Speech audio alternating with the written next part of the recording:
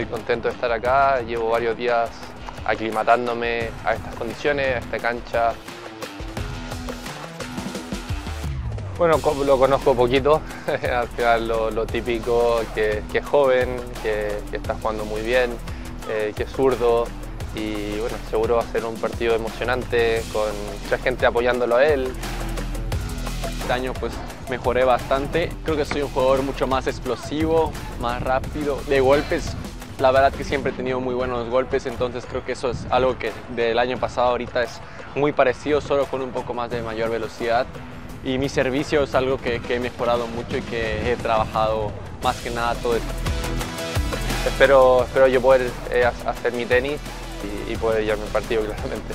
Siempre lo que yo digo es espero dar lo mejor de mí, tener una muy buena actitud y salir de la cancha con una sonrisa y que haya dado un muy buen partido y hasta ganar si se puede.